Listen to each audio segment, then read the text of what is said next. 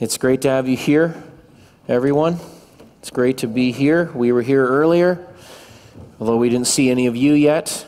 And then we whisked off to Komoka to be with them for a little while. And now we're back with, uh, with a, a new, even better looking group of people, don't you think, guys? Yep. Yeah, uh, this mic's not on. That's Um, okay. It's, um, uh, it's a good deal for not just uh, for us to be able to be with you, three different con- you know, congregations or groups of people today, but it's a good deal for you. You get like three in one, you know? I didn't mean that like a trinity or anything. I just meant like No, no. three, four, one, I should say, you know? It's like a really good deal, you know? So you got your money's worth for your tithes and offerings this morning. And uh, Is it like three times as long? Uh, maybe, yeah, it could be if you want. Um, At this rate, uh, the, rea- the, rea- the reality is, though, sometimes you know when you get a good deal on something and then you discover that the three things you thought you got for you know the price of one are actually worth only one third of what you thought they were. You know what I mean? So we're hoping that's not the case here this morning.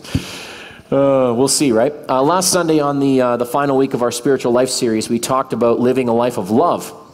And uh, that was a really good ending to that series. Of course, Valentine's Day was just on Friday. And uh, as you were already reminded today, and uh, uh, so guys, did you do okay or did you strike out?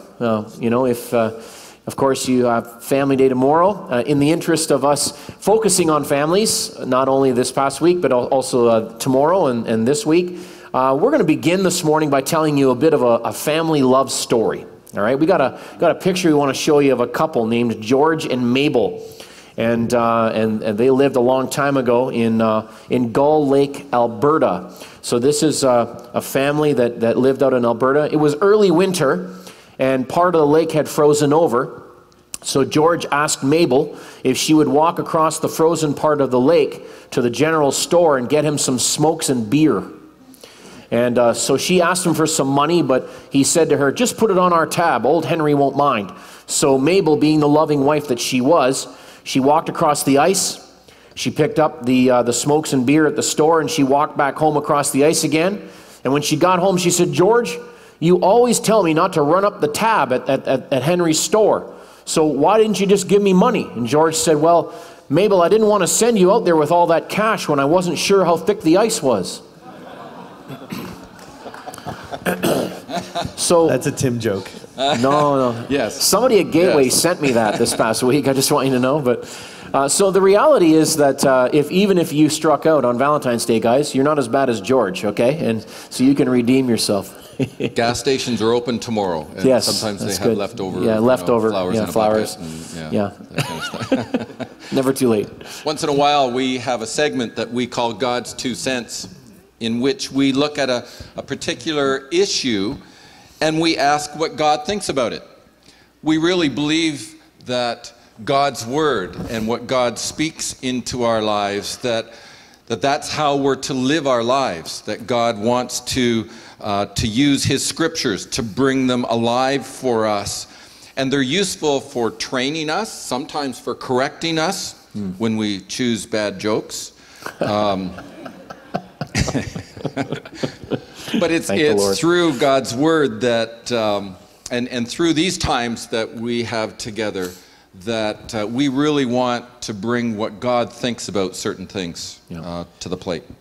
Yeah, so today we're going to look at the state of the family in Canada. And this is the first of almost a two parter. Uh, next week, we're actually going to look at living the spiritual life within the confines of family. And so uh, today we're going to look at the state of family in Canada and what implications that has for us uh, and for our lives. And we're going to listen to what God actually has to say about the family and how we apply that to our lives. And so, uh, and so the question I guess that we need to start with is what is the state of the family in Canada today? It's interesting as, as we were looking at some of the, uh, the current statistics, uh, the, the picture of what Canadian families are, are actually looking like in the world that we're living in right now. There are about 13 million households in Canada. And of those 13 million, 9 million of those are family households. 30 years ago, 83% of families were married couples with children. Today, only 68% of families are. There's a steady decreasing trend with that. The number of one parent families is increasing steadily, as well as the number of people living common law. And in many cases, one of the adults isn't a parent of the children that are in the home. Today, the average number of children per family is barely over one. We need 1.7 just to stay um, uh, in order to sustain our, our population. 26% of families in Canada have no children. Most of Canadian uh, Canada's population growth is due to our immigration. So, from birth rates, rates alone, we're not even replacing ourselves for the future generation. And so, Canada would be in a steady decline if it weren't for our immigration. There are just over uh, 400,000 victims of violent crimes in Canada each year and one quarter of them are victimized by a family member. The vast majority of child abuse cases occur in single parent homes, where in most cases the father is not present. The most common abuser of children are single mothers, followed by live in boyfriends or stepfathers. In fact, children are 33 times more likely to be abused when a live in boyfriend or stepfather is present than, a than in a completely intact family where the father is present.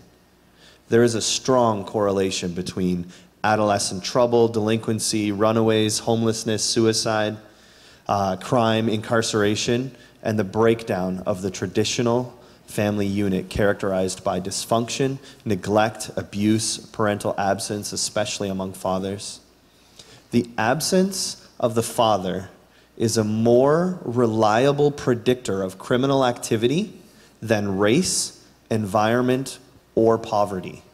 In fact, um, it's, a, it's like an epidemic type thing when it comes to those who are experiencing that.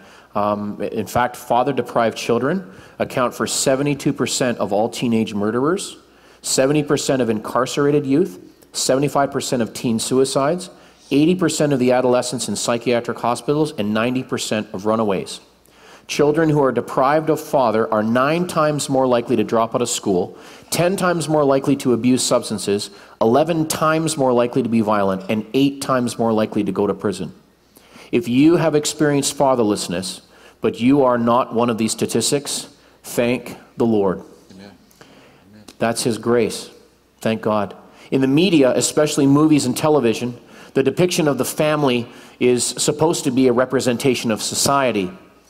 And I would propose that it not only does reflect societal trends, but it also influences and shapes societal trends. For example, have you noticed that almost every family sitcom depicts a mother who is intelligent, motivated, strong, organized, quick witted, and exceptional at parenting, while the father is a dull, lazy, weak willed, disorganized moron who hasn't the slightest clue about parenting or anything else for that matter, if he's there at all. Have you noticed that? So I would propose that not only reflects societal trends, but it also helps to shape them, unfortunately. Today, the prevailing trend seems to be that the concept and depiction of family more emphasizes the individuals in that family with their preferences, desires, needs, and dislikes, rather than the family unit in which individuals are actually secondary to the overall family as a whole all that, I think, begs us to, to ask a couple really important questions. First, um, where will this lead us over the next 10, 20, 50 years? What will Canadian society look like in the future? When you heard these statistics this morning, when you heard these facts about the family in Canada, what did you think? How did it make you feel? Hmm. And I guess, what are the implications for our lives? Yeah, the reality is that um, many of you are here today. You heard these, and um, you realize very quickly, uh, you know, the, the stark reality of how they have related to you, and others not so much. But here's, here's the point we've all been touched in some way by the state of the family in Canada. They do, these things we talked about do have implications for our lives. I don't know which statistic may have pierced your heart or created a lump in your throat or brought a tear to your eyes or caused anger to flash inside of you. I don't know what your families are all like. I don't know what you have personally experienced. But it is not a stretch to say that all of us are affected by the state of family, whether good or bad, and that our outlook, our perspective, our view of the world today has been and is being shaped by home and by family realities, both in the past as well as in the present. So we're just going to take a moment and tell you uh, basically our own family stories. Dave. Well, and, and that's so true. Um, I grew up in a Christian home, and, and my dad and mom were, uh, were Christians. We were a Christian family. Uh, both dad and mom went to Bible school. That's where they met, fell in love, and got married. And, and they were always involved in leadership in church. So, as, as a child growing up, church was everything to us. And, and mom and dad were very involved in every aspect of church life and giving leadership, even. So, on the surface, everything was normal and healthy in the Andrews home. I grew up believing that my family was a normal family, in fact, a family that every family should be like and and that's just the way I was I, I grew up with that perception. There there were no red flags. There was nothing going on that to me said this is wrong. And and and yet at the age of 19 after my parents being married for 31 years they announced that they were getting a divorce. And it shocked me because I thought everything was was healthy. Years later Mom disclosed to us that she had been molested as a little girl by her father for most of her growing up years. And that painful secret she had kept to herself until she was in her 70s. And it was through the, the hurt and through the, the things that weren't taken to the Lord for healing and, and, and all of those things. Mom just keeping that such a secret. But it really shaped her ability to relate intimately and personally with dad. And so for their married life, dad could never understand why mom was relationally and physically so distant with him and finally, dad fell into sin, and, and, um, and then the divorce happened. I realized when our family crumbled, looking back, that everything that I had watched, everything that I had been formed by and shaped by to say, this is normal, this is how you, you're our dad, this is how you're a husband, this is what family is I had huge gaps. And it wasn't until I was married and some of those gaps started showing that I, uh, God really took me on a learning curve. Yeah. And, and it's awesome what He can do, no matter what we come from, yeah. to fill in those gaps. Yeah. I've often described my family as the type of family you would see on the TV show Cops you know when the police are called in to like this domestic disturbance and they show up at the house and it's like absolute chaos and one person's like freaking out on the others and they're all just like he that was my family growing up. Um, i am i am the middle child of three. Uh, i have two sisters. Um, the most honest way to describe my home is a place that lacked peace of any kind. Uh, my father is an alcoholic uh, there are very few childhood memories that I have that are not shaped or influenced by the effects of alcohol. I've been awoken at 3 a.m. by the police at the door. Uh, I've had to help my father up off the bathroom floor because he's too drunk to stand and he's already wet himself. I've experienced moments like this. I have, my mom is a hard worker who's been beaten down by life for so many years. I have two sisters. Both were pregnant before 18. One of them was a grandmother at 35. There was no faith in my family. But the local church, so we moved around a lot, the local church has always offered Sunday school, and my parents were always willing to send us. And now, now I know more about what a family is. I find it ironic because I actually ran to God from my family. Hmm. My situation was sort of the opposite. And uh, I am the oldest of five children in my family. My parents were committed, consistent Christians who really lived what they believed. And my dad was a pastor for almost 40 years, and his father for 50 years. So I experienced the legacy uh, of generations of godly people who are dedicated to family and ministry. And um, thankfully, my kids are now experiencing even another generation of that. But my mom, I would call her a selfless, giving, godly woman who really prays and who really displays the character of Christ. And I'm, I'm thankful for that. It would be easy to think then, when you look at my family, that everything, you know, would always be great. But we came through some stuff. We came through some rocky times. I, I had uh, one of my siblings early on in marriage experience their spouse drifting in faith and growing cold in love, compromising in integrity and becoming unfaithful maritally, refusing to repent and reconcile, leaving uh, the sibling, my sibling, with two kids, who to this day, those kids experience the fallout of that in many ways. Another of my siblings got messed up in drugs and vandalism and other deviant behavior, had a child out of wedlock, broke up with the partner. Now the child lives with the other parent in a single parent family. And to this day, my sibling is not really in right relationship with God. Another of my siblings moved away from the family, secretly due to feelings of resentment towards us, until it all came pouring out in a series of dishonoring letters to my parents, which cut them and, and broke their hearts. I'm thankful to say, though, that some of these things have been turned around and they've been resolved, and that God has brought healing and restoration uh, to my family. I love my family, I love my siblings. And I thank God for every one of them. We've experienced a lot of questions about why things happen, but we've also experienced the grace of God in so many ways. And we want to tell you a little bit too about what we have seen as pastors uh, about families and, and for families, especially here at Gateway. You know, there's no question that uh, just attending church or being a Christian. It doesn't mean that you have a healthy, happy family. There are no guarantees. As a pastor, my heart breaks uh, for those families who find themselves in painful, hurtful, damaging situations.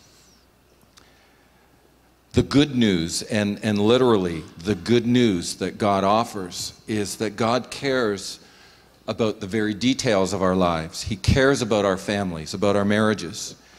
And I have seen miracles of healing of relationships and res- restoration of families by the power of God.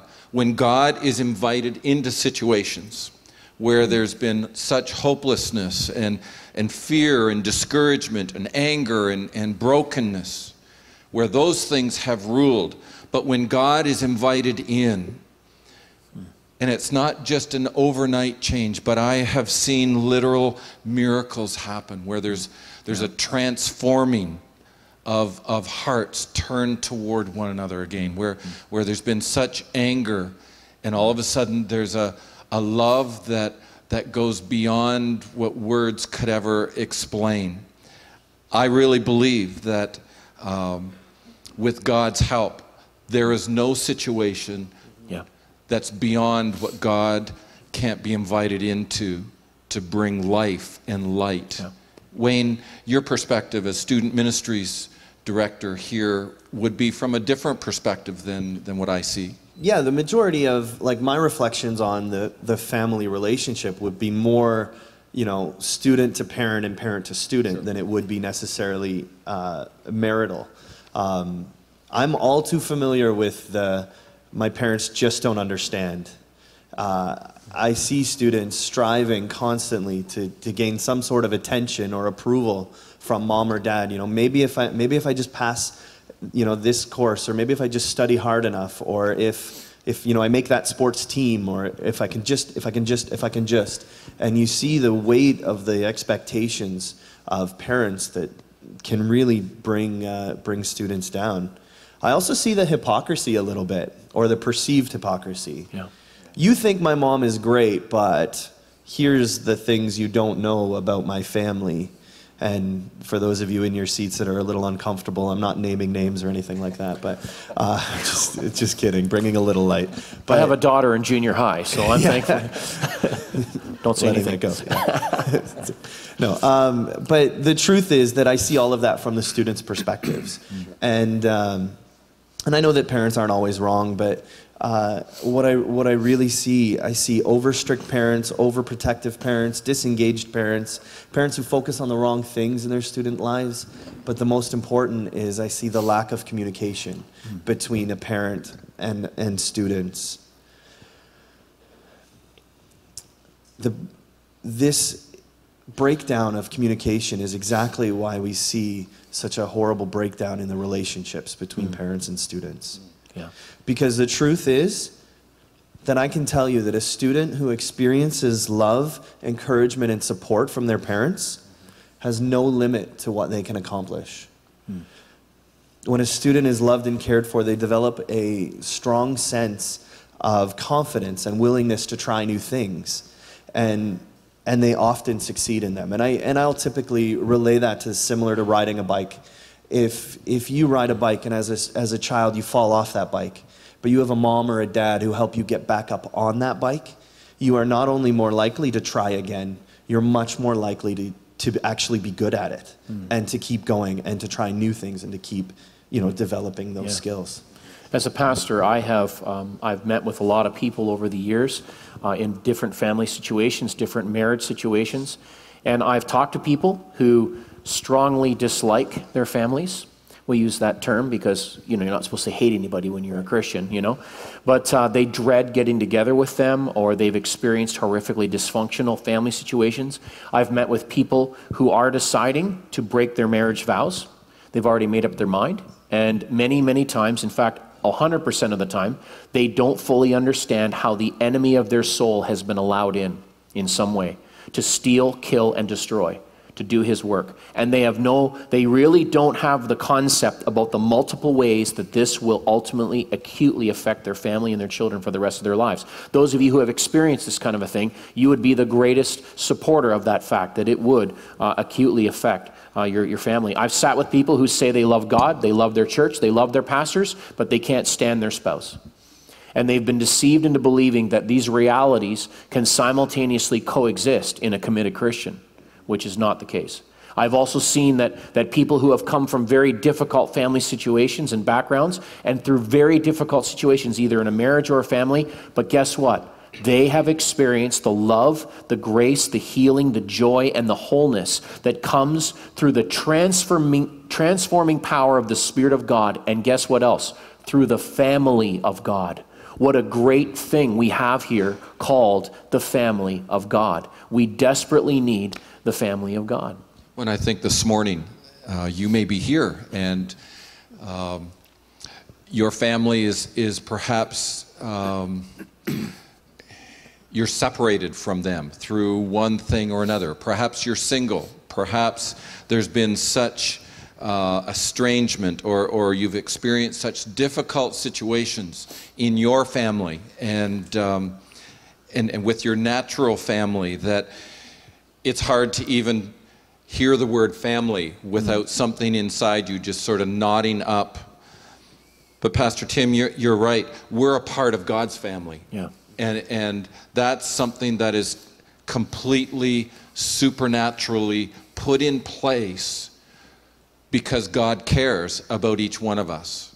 And regardless of where we find ourselves, regardless of our situation, that in this place, and not this physical building, more than just an hour on Sundays, but, but God wants us to be a spiritual family. He wants us to learn how to. Yeah, I stole your line, sorry. but he, he wants us to be family together. He wants us to receive from one another, Yeah. but he wants us to give to one another as only a family can. And so if you're here this morning and you're feeling like you could be on the outside looking in, please know from God's heart, you're a part of the family. Yeah. That's good. And so we're left to ask, what does God say? Hmm. That's the purpose, right? God's two cents. We're here to get his opinion. What does God say? What does he think about family? What is, what is his thoughts on this idea? Well, let's look. 1 Corinthians 6 says, Do you not know that wrongdoers will not inherit the kingdom of God?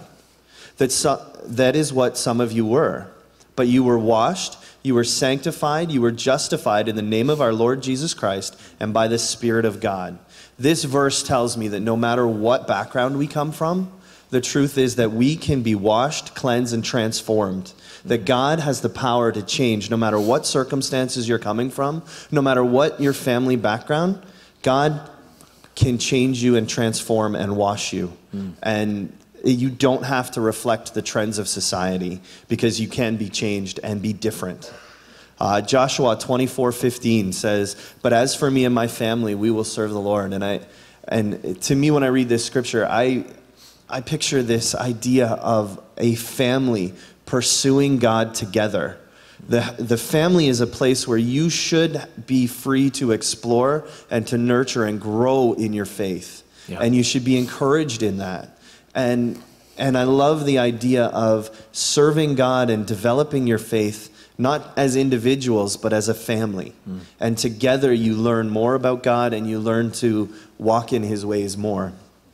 1 Timothy 5 says, Give proper recognition to those widows who are really in need but if a widow has children or grandchildren, these should learn first of all to put their religion into practice by caring for their own family and so repaying their parents and grandparents, for this is pleasing to God.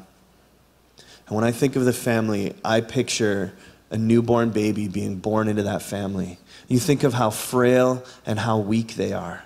And it is the family's responsibility to provide for that child, to look after their physical needs, look after their emotional needs, look after their spiritual needs.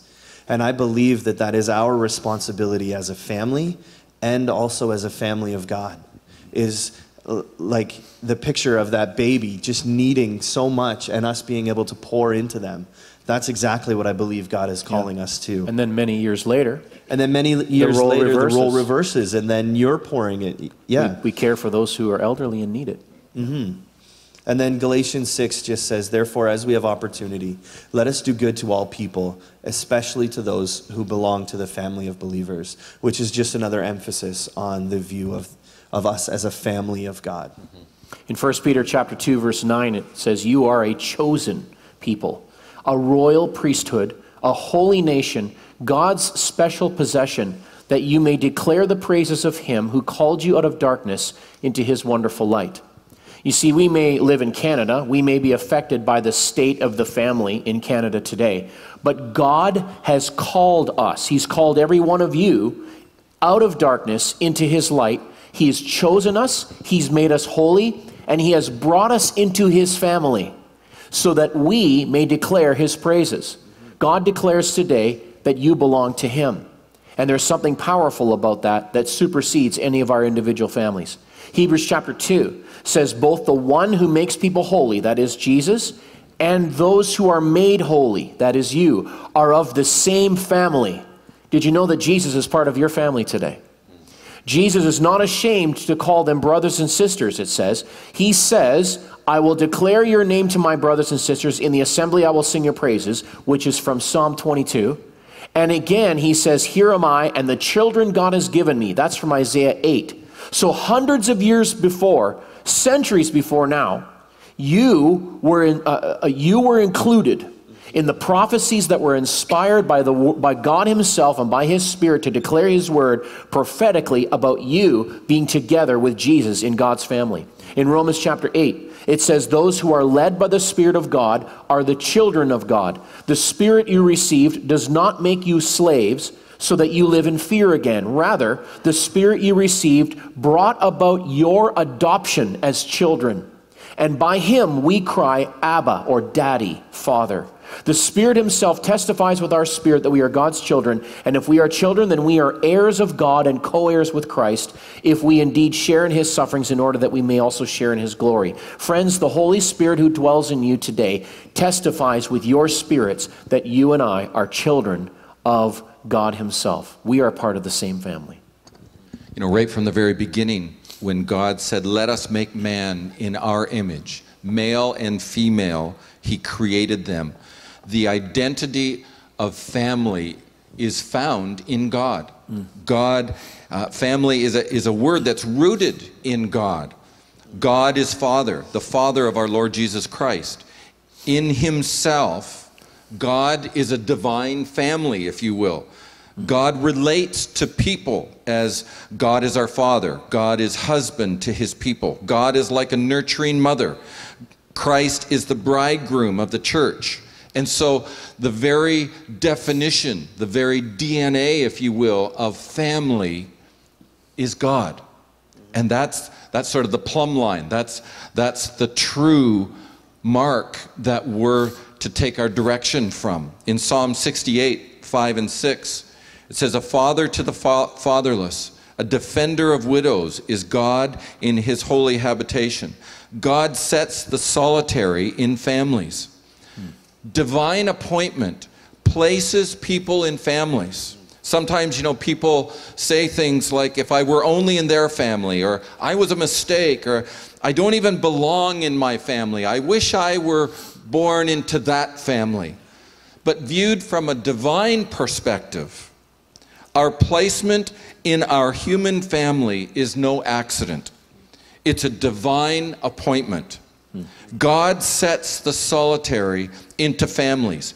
He will personally intervene on behalf of widows and orphans who lose the normal protection of a husband and a father.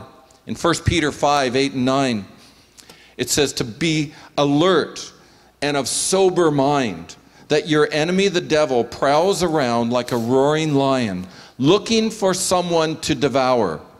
Resist him standing firm in the faith, because you know that the family of believers throughout the world is undergoing the same kind of sufferings. Folks, make no mistake about it this morning. Satan is constantly looking for ways to attack your family.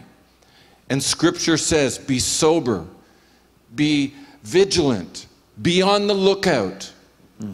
We need help from God to live in these days as Yeah. families. So, how do we apply this? How do we bring it home to our own lives? How does this relate to me and my family? Well, I think it starts obviously with yourself. And I think that we have to look at our families as a gift from God. And we have to begin to thank God for the families that we have because that the way that we see the other people in our family is the is directly like it directly affects the way that we will treat them. And when you begin to see people as a gift from God and somebody that God has placed in your life, then you begin to see the value that they have, and it helps to bring about reconciliation. It helps to to bring down the stress level because you begin to think, oh, let me pour into their lives, let me let me try and enable and help and and you know lift them up rather than continue to tear them down.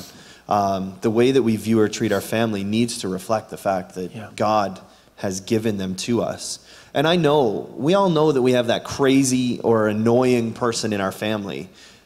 If, If you, you, th- think about your family right now, if there's no one crazy or annoying in your family you can think of, it's you. it's you. You're the one. and everybody else is thinking it about you. and I know that those people are in our families, and I know that they're there. But when you begin to see them as somebody that God has placed in your life, when you begin to see them as an actual gift from God, then it begins to change, like I say, the way you interact with them and the way you deal with them. Um, and this applies not just to our physical family, but also to our spiritual family. Yeah. It's very easy to look around the church and say, that person is really annoying. Not pointing at anybody over here. That's awkward. Uh, but it's, But we're family. but we're family. But it's easy to judge those who are around us. But what we need to do from the scriptures, we need to look at those people and again see them as gifts from God. Yeah. And the line that Dave stole is in our videos. we've recently we've started seeing videos that show life that's going on around the church, and then it ends with Gateway Church more than just an hour on Sunday.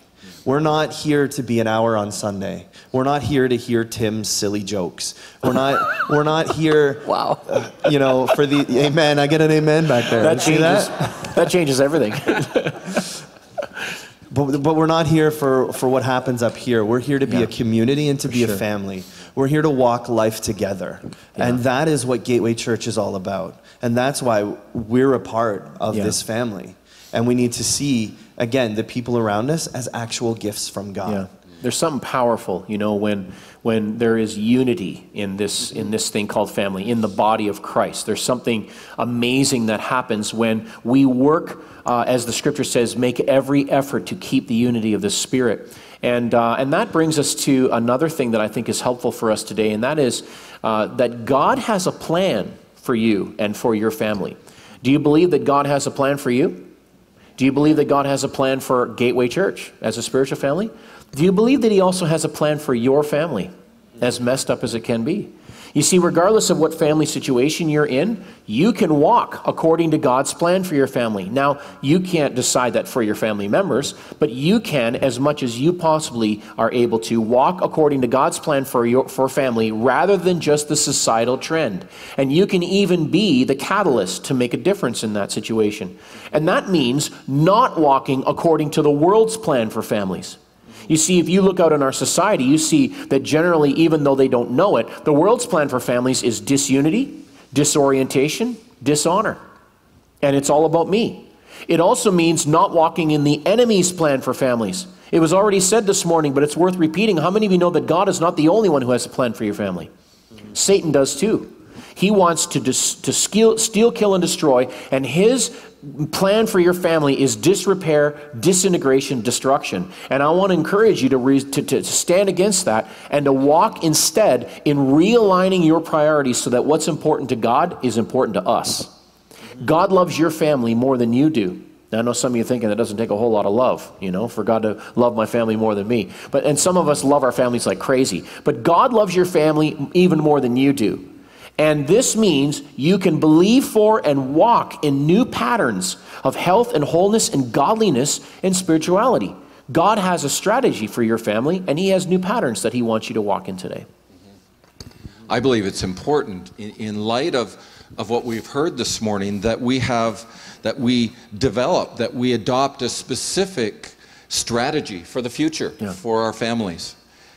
What specific intentional strategies do you have to help your family in light of the society that we live in, in light of everything, the, the trends of what's around us? What strategies do you have specifically that will help your family be balanced and healthy and vibrant and full of hope for the future? Do you have a strategy? We certainly want to help you move forward from this morning. There are courses that we offer here at Gateway that are specifically offered not to keep people busy, not so that we have something to announce on Sundays, mm-hmm. but they're there to meet the, the mandate that we feel as pastors to equip you to, to live life God's way. So, whether it's love and respect, whether it's foundations or alpha or marriage live or cleansing stream, there are specific ingredients in those courses that will help you to have a strategy moving forward with your family, living life God's way. And so I want to encourage you. Once a month, we have a, a group that meet in the portable and it's a, a, group of parents that we just want to pray for our families yeah. and um, and so we meet once a month for an hour 9.30 to 10.30 and um, and we pray we learn how to pray more effectively we encourage one another and uh, and that's certainly available for you to come to. You know it's a it's apparent from listening to what god has had to say his two cents this morning that God is interested in our future, mm. that He desires to lead us as we're a part of families, our natural families, our spiritual families. He's asking for us to step up and, and to give our best to carry out what He has laid down as the, as the pattern, as what family should be. And, and he knows what will make it the healthiest and the most joyful part of our lives. Please know this this morning, folks. God wants to be a part of our families. He wants to help us, to equip us, to empower us, to make our families healthy and whole and, and, and full of joy and laughter. Yeah. Pastor Wayne read a verse from Joshua. Joshua was the, was the leader of the children of Israel, and, and they were surrounded by pagan uh, people that, that were uh, filled with pagan worship, idol worship, and, and they were enemies of the children of Israel. And, and Joshua stands up before those that he was giving leadership to, and he makes this declaration, and he says, As for me and my family, even in light of everything that's going on around us, all the temptations, we're going to serve the Lord. We're going to live our lives as a, as a family. We're going to live it the way God has told us to live it. Amen. And I believe that this morning, what better time than on this Family Day weekend for us to stand together and to declare, you know, wherever you find yourself, whatever your family looks like, but today you can stand and, and say, God, as for me, as for my family, God, we're going to serve you. From this day forward, Lord, may we have ears to hear what you want to speak into our lives. Yeah. Yeah. There are families here, guys. There are marriages that that are so close to destruction. And the world says just give up. The world says just walk away. There are families where there's so much hurt. There's so many things that have happened, words that have been spoken and hollered and screamed. There's so much unforgiveness and hard hearts. And we see those things in our families and we say it's too late. But, folks, we're here today to say if you would simply stand, raise your hand, and say, God, I need you in my family. Yeah. I need you in my marriage. Lord, help my heart to hope again. Help my heart to not be so hard and bitter. Lord, wash away the poison. I know that there are enemies all around me. I, I hear them, I see them, I feel them. But God, my hope is in you, Yeah. and there is nothing too great for you. Our help comes from Him today. Your help comes from Him today. You and I can't do it alone. We need the help of the Spirit of God present in our lives and in our families and in our spiritual family. As you go today, you were reminded earlier in the service about a practical way that if you are here with a natural family, especially one with children, that you can partake and participate in something that uh, could help you to be an assistance to you to make the most of this Family Day weekend. So grab one of those packets on your way out, have a look at it, do it together as a family. There's different ones for different types of family. We do want to let you know that if, if we've had an overwhelming response and we run out, that's a good thing. But the items, the, the, the, uh, the audio files and the things that are, that are there in that package are going to be available for you around 2 o'clock this afternoon for you to download on our website if, if we run out, okay? That's meant to be a practical help, but how many of you know what we need the most is the help of the Lord in order to be who God's called us to be and be the families that we need? So, Father, we just we ask for your help today. Our eyes we lift up to you because our help comes from you. Help us, Lord, to be the families you've called us to be. Help us, Lord, to be the people you've called us to be. Help us, Lord, to be a spiritual family, the body of Christ you've called us to be, and to walk in your plan for us. In Jesus' name we pray. Amen. Amen. God bless you. Have a great day. We'll see you next week.